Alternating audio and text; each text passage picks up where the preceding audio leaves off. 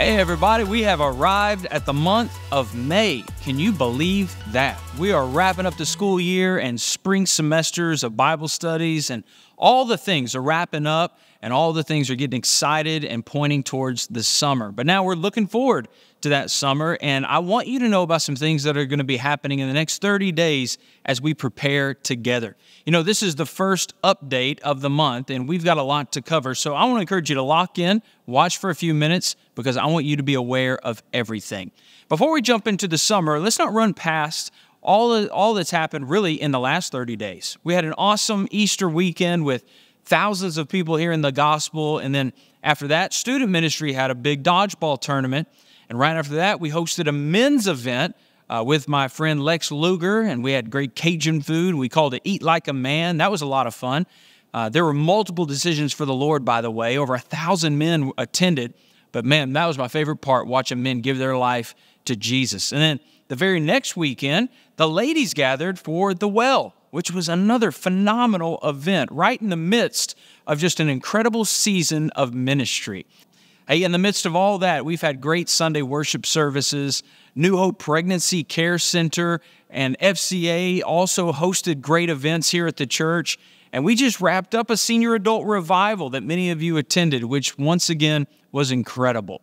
When you see all God is doing among our church, you can't help but get excited to be a part of it. And you can't help but notice that the hand of God and the favor of God is falling on the family of God. Coming up this Thursday, we have a special citywide prayer gathering called the National Day of Prayer, and our church is the host location for our local National Day of Prayer gathering. There will be a combined choir made up of churches from across the area. Pastors and leaders are going to be taking time to pray for specific things facing our families and our town and our nation. And I want to personally invite you to be a part of the National Day of Prayer gathering this Thursday at 6 p.m. in the worship center. You say, Well, I don't need to go to that. Yes, you do. Hey, you need to be a part of this, locking arms with other believers in this city. And you can share those details with friends or even uh, family members, people that you believe ought to be in the room, uh, and just invite them to join us. We're going to gather together. It's going to be a powerful time of worship and prayer. And you can find out more information about this event on our website. As you know, I'm in the middle of a Revelation study on Sundays. Uh, we've titled this series Revealed, where we're uncovering the mystery of Revelation. It's been a great study, a lot of fun for me to present and prepare for every single week. And uh, we look forward to all that God has in store for us in the future. And it, it makes it even more real when you unpack the truth of God's Word. This series will continue on Sundays. And I would just like to encourage you to invite somebody to join you and bring them with you. This is a study that a lot of people have questions about. We all want to know what's going to happen next. And I'd love just for us to have that time together on Sundays. Speaking of Sundays, this Sunday is Cinco de Mayo. It's the fifth day of the fifth month of the year. And we are taking time uh, this special Sunday to invite friends to be a part of our gatherings together on Sunday morning. It's kind of an old school bring a friend Sunday, but we're, we're taking the Cinco de Mayo theme and we're just, we're just going for it in a lot of different ways. One of the ways we're going to have free breakfast burrito stations all throughout our, our facilities on that day in the lobby, in the commons. And so bring some friends, bring some hungry friends, grab some burritos let's have some time of fellowship in the commons and just enjoy one another. You know, in Cleveland, Tennessee, uh, this church has really made a great impact. And a lot of people have questions about how to get involved in this church or how to join this church. Also, on Cinco de Mayo, following our final service, we're going to be hosting a Discover First lunch where people can find out more about what it means to be a member of First Baptist Cleveland. And if, if you have those questions or you would like to be a part of that luncheon, I would encourage you to come. These lunches are going to take place once again after the last service at each campus, both in Cleveland and in Ooltewah. And you can find out more about that Discover First lunch or Discover Spirit City lunch on the website. On May the 12th, we're going to be having another special Sunday uh, that's going to be focusing on mothers and graduates.